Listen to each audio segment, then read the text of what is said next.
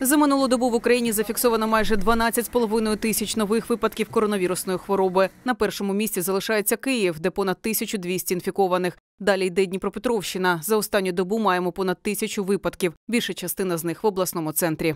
На амбулаторному лікуванні лікується 3440 пацієнтів.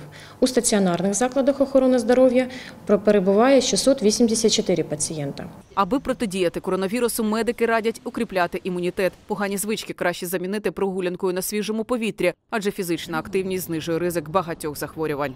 Желательно не менее 60 минут или полутора часов, но по в зависимости от уровня состояния здоровья приветствуются даже 10, 15 и 20 минутные прогулки. Они тренируют сердечно-сосудистую систему, они повышают иммунитет.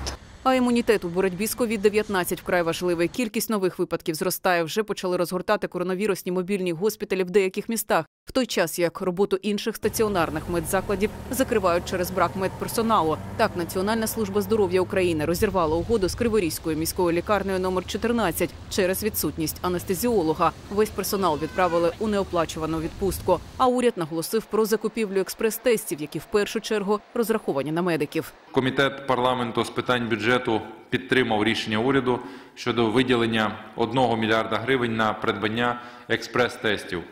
Їх отримують переважно сімейні лікарі та мобільні бригади на швидкій допомозі. Так у нас з'явиться ефективний та швидкий інструмент додаткового тестування громадян. Крім того, уряд ініціює додаткові цифрові інструменти для боротьби з коронавірусом. Так українців будуть інформувати про те, що вони перебували в одному приміщенні із хворими на коронавірус. Новацію впровадять найближчим часом. Дуже передові інструменти, які зараз використовують лише деякі країни світу. Україна буде одною також з перших країн, яка ці інструменти буде повноцінно використовувати.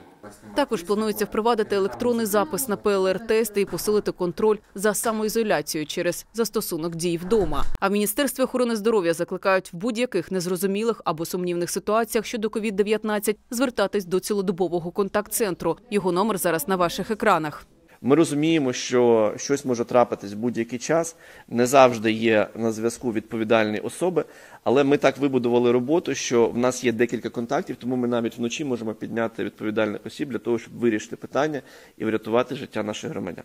Сьогодні стало відомо, що експериментальна вакцина від COVID-19 Pfizer, згідно з остаточними результатами клінічних випробувань, показала вже 95% ефективність. Розробники заявили, що планують подати заявку на реєстрацію вакцини протягом декількох днів. Олена Петриченкова, новини 11 каналу.